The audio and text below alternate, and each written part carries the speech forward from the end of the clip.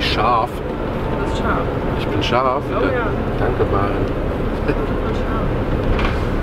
Ja, ähm, ihr seht, wir sind wieder unterwegs und damit geht es im neuen Vlog auf das Dachzelt-Treffen. Jetzt fragt ihr euch, hä? Dachzelt Wintercamping. Wachzelt, Winter, was? Dachzelt, Wintercamp. Camp. Dachzelt, Wintercamp. Genau. Jetzt fragt ihr euch, hä? Dachzelt und so und ja, das ist das kleine Treffen quasi vor dem ganz großen. Äh, wir nehmen euch einfach mit. Die haben, glaube ich, das ist, glaube ich, ein echt cooles, süßes kleines Treffen.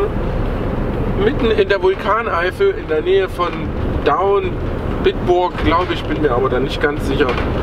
Egal. Ihr werdet ein paar bekannte Gesichter sehen. Gesichter. Ihr werdet ein paar bekannte Gesichter sehen. Kommt einfach mit. Fertig. Ausschluss jetzt.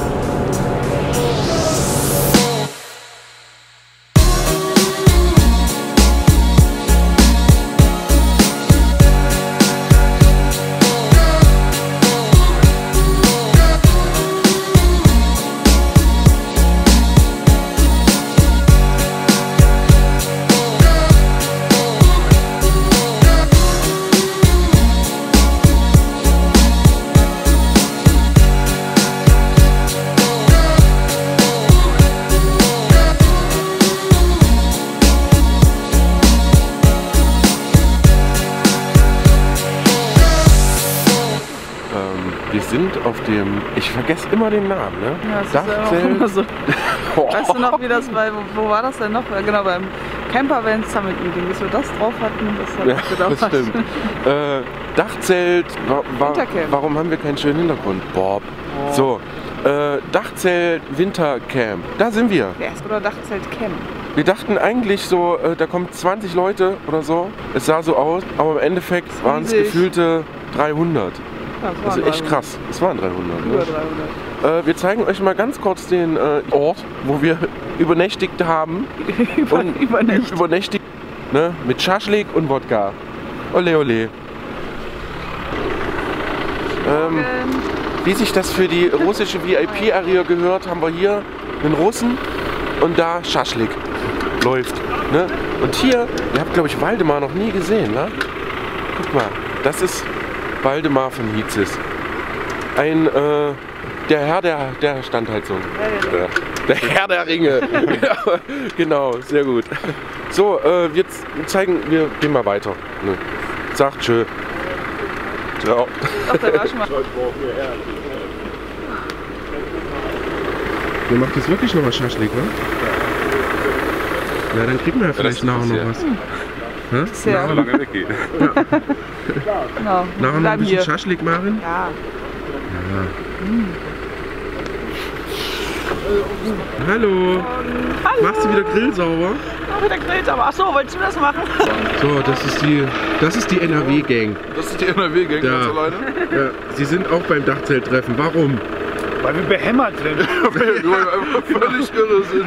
Ja, Und total viel bei- Bock drauf bei haben. Haben aber 10 minus Grad 8 Grad zu zelten. Ja. Äh, eigen, viele Dachzelte, wie immer, aber auch äh, Vans sind da. Habt das ja gesehen oder ihr seht das ja hier oder wie auch immer ich das jetzt mache. Ich finde das immer schön, dass es für eine Vielfalt an Dachzelten gibt. Ja, Das lässt stimmt. sich auf so einem Dachzelttreffen natürlich immer besonders schön sehen. Ja. Hier, das ist der Mittelpunkt. Ne, mit Lagerfeuer und Anmeldung und so weiter und so fort. Und, Und Maggi, und Maggi Maggi auf dem Stuhl. und äh, Leuten mit Malerklamotten. ja, Ja, so. war gestern ein bisschen mehr drin. Ja. War, Ein war bisschen viel mehr. bisschen, bisschen viel, viel mehr. Ähm, Und es gab ganz tolles Essen. oh ja, Es überall. Gab Käsefondue Käse Flamm, Flamm, Flammlachs, heißt das so? Flamm, Flammlachs. Ja. Ja. Und ähm, es gab Flammkuchen Ja. und ah, lauter tolle Sachen, Crepe. Oh, Krebse. Und wir haben es alles nicht gegessen. wir haben Schaschlik gegessen. Wir haben Schaschlik Das gegessen. Ach, sehr, sehr toll. Ja. Aber äh, guck mal, es, es leert sich, also quasi ist es Sonntag, ihr habt so, so, ihr seht so ein bisschen was von Samstag. Wir sind natürlich Samstag relativ spät gekommen. Das ist Patrick. Ich habe mal Aufnahme gedrückt. Ah, Ja. Ähm, ach, wie war es im Dachzelt heute Nacht? Wunderbar. Ja. Ist nicht zu kalt. Schatz, komm mal bitte rein. Achso, Kalt. Hallo. bin da. Kalt ist immer nur denen, die im Bus schlafen. So, wir gehen wieder. Da. Uns ist gerade ein lustiger Witz eingefallen. Ne? Bella Byrne steht am Lager voll. Und brennt. So, äh, das ist kein neuer Filter, ist einfach nur beschlagen. Darf ich darüber wischen jetzt? Das macht nicht so wirklich viel besser. Nee. So, liebe Dafür ist die Freunde, sollte es doch zu kalt sein, gibt es hier sogar die Möglichkeit, sich in diversen Örtlichkeiten aufzuwärmen und sich schminken zu lassen. Und der Massage-Lukas rennt hier irgendwo rum. Wir gehen mal rein, wir gucken, ob der Massage-Lukas da ist. Oh, kein Massage-Lukas da. Nicht erschrecken, ich will nur eure Füße filmen. Achso, ja, Oh ja, bitte, das ist bitte. halt Oh, toll. Ich habe meine Nägel nicht kaputt. Das sieht man nicht. Das ist gut.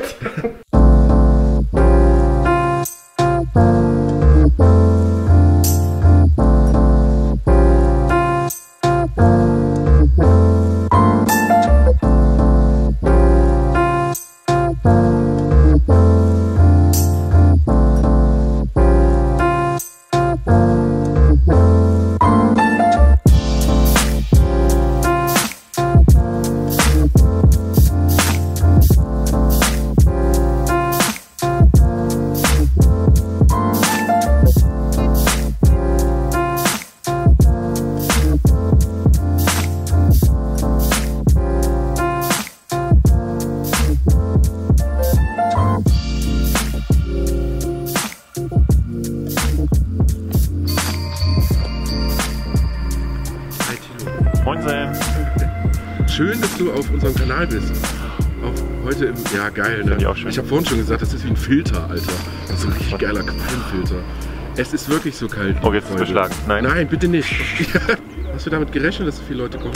Ehrlich gesagt haben wir überlegt, ähm, Winter, Winter, da haben nicht so viele Leute Bock wahrscheinlich drauf, so vielleicht 20, 30 People so am Lagerfeuer, das wäre schon nice. Und ja, aber es ist wie immer, es kommt anders als man denkt. ausgeufert. Naja, ausgeufert nicht, also wir haben es schon echt gut geplant, auch nochmal genau durchgezählt. Und ob das alles passt, und es hat perfekt gepasst, aber es waren über 300 Leute jetzt hier ne? und 180 Fahrzeuge oder so. Ja, Das ist ordentlich. schon krass. Ja. Äh, was erwartest du äh, dieses Jahr Dachzeltfestival? Erzähl mal was. Wo, wann, Ach, wieso? auch so 50 bis 100 Leute. Ja, also ich glaube, das wird echt eine, eine ziemlich krasse Nummer. Wir haben da eine super Location ähm, am Brombachsee äh, in der Nähe von Nürnberg. Total geil. So eine Halbinsel, die wir da bevölkern können mit Dachzelten. Jeder ist willkommen, mit Dachzelt oder ohne, ist immer dasselbe bei uns. Also alle, jeder, der sich so fühlt und Bock hat, kann vorbeikommen und Spaß haben.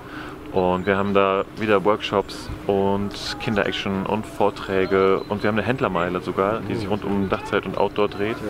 Ähm, wir haben auch, weil es halt so geile Möglichkeiten gibt, ähm, so äh, ein Stück Wald und äh, wir haben dann ja auch noch so einen Strand und wir haben Wasser, also da kann man auch geile Sachen machen. Wir haben so überlegt, ob man nicht vielleicht was mit Dachzelten und Wasser machen kann und Dachzelten und Booten. Also das wird, glaube ich, sehr, sehr spannend.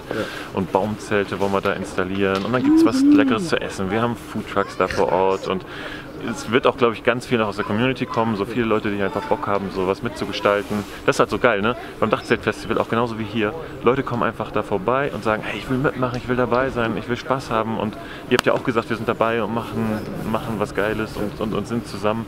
Und jeder nimmt so eine kleine Aufgabe und am Ende wird da so eine schöne, große Gemeinschaftsaktion raus. Und ich glaube, alle freuen sich schon so aufs Festival, also sind jetzt schon voll heiß auf den Mai. Äh, 16. bis 19. Mai 2019. Ja. Und ähm, genau, Brombachsee. Äh, Tickets gibt's. Harzberg. wo? Tickets gibt es äh, bei uns auf der Webseite. Könnt ihr gehen, www.dachzeltnomaden.com und dann guckt ihr da Festival und dann geht ihr dahin zu den Tickets und da könnt ihr auch auswählen, ob ihr nur eine Nacht bleiben wollt, ob ihr zwei Nächte bleiben wollt oder drei Nächte bleiben wollt. Volle Flexibilität, könnt auch spontan vorbeikommen. Für uns natürlich cool, wenn man planen kann, aber wer noch jetzt noch nicht weiß, weiß noch nicht. Mal gucken, also wie ihr Bock habt. Schock, check, check, check. Ja, wir freuen uns Checkt das mega drauf. Äh, vor allen Dingen, weil für uns, wir sind extra früher da und werden äh, Tilo erfolgreich unterstützen. Äh, wir sind Vanlifer, das stört dich gar nicht, wa? Sind wir nicht alle Vanlifer? Ja, irgendwie schon, ne? Ich glaube, wir sollten diese Grenzen aufheben. Diese Ja. Grenzen von, von Van, Bus, Dachzelt. Wir sind alle irgendwie Camper. Wir lieben es draußen zu sein. Wir lieben es Spaß zu haben und ich glaube, darum geht's. Einfach gemeinsam das draußen, die Natur zu erleben Ja. und das Gemeinsame und Genau. das ist Ja. also. Also scheut euch bitte nicht, auch Ja. als Vanlifer aufs äh, Dachzelttreffen zu kommen. Es ist total toll. Tilo hat eine fantastische Community geschaffen. Ähm, mega, mega geil. Ihr müsst diesen Flair, genauso wie hier, ihr müsst diesen äh, Flair einfach mal mitmachen. Es ist, es ist unfassbar cool. Äh, ich gebe einen Workshop mit äh, Manuel, glaube ich. Ja, mit Manuel. Genau, und noch irgendwie einen Workshop. Und also da ist richtig die Hölle los. Ihr müsst unbedingt vorbeikommen. Es wird richtig, richtig gut, glaube ich. Also wir freuen uns echt ein Loch im Po. Ich freue mir auch ein Loch im Po. Ja, haben wir schon zwei. Ich habe schon Zeit. Sehr schön. Äh, danke dir für deine Zeit. Sehr gerne.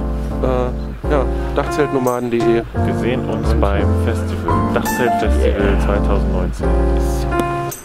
Tschö. Ciao mit V.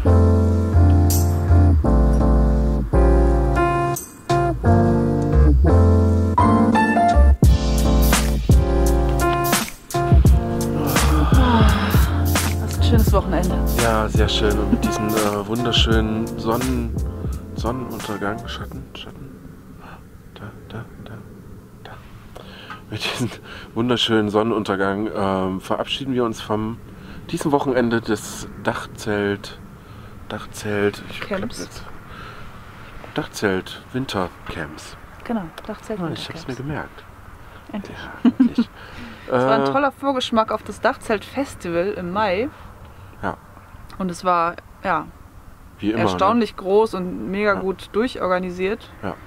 Also cool. echt krass, krass wie immer. Also was, was Thilo, Rebecca und ein ganzes Team überhaupt da immer irgendwie auf die Beine stellen, ist. Das ist unfassbar. Sind Macht, Profis, ne? ja, macht, drauf. macht immer wieder viel, viel Spaß mit den ganzen und überhaupt mit den Dachzeltnomaden und Das den tolle, tolle Dachzeltleuten und ähm, ja, wirklich, wirklich toll. Und deswegen können wir euch, wie Thilo gerade eben schon im Video sagte, ähm, das Dachzelttreffen dieses Jahr wirklich nur empfehlen. Dachzelt-Festival. Dachzeltfestival dieses Jahr wirklich nur empfehlen. Es wird unfassbar vielen Kram geben und ähm, wir werden lange Zeit dabei sein. So, Schluss jetzt aber. Genug gelabert. Genug gelabert. Wir fahren, wir verlassen jetzt die schöne Vulkaneifel und fahren wieder nach Hause in die Voreifel. Genau. Toll. Tschö.